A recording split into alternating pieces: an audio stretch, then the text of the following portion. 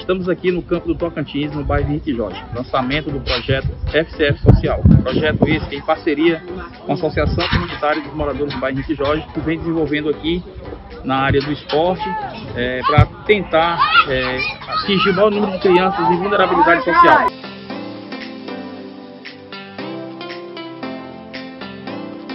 Projeto esse de suma importância que vem agregar alguns projetos que já tinham aqui no bairro, através do Sérgio, do Coronga, e hoje a federação vem nessa parceria para fortalecer esse lado.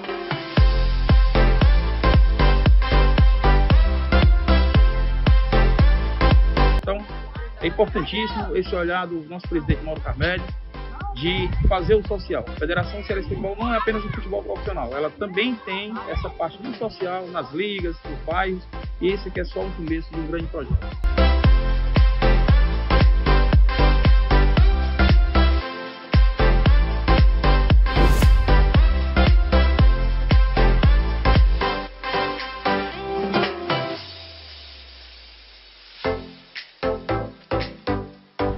you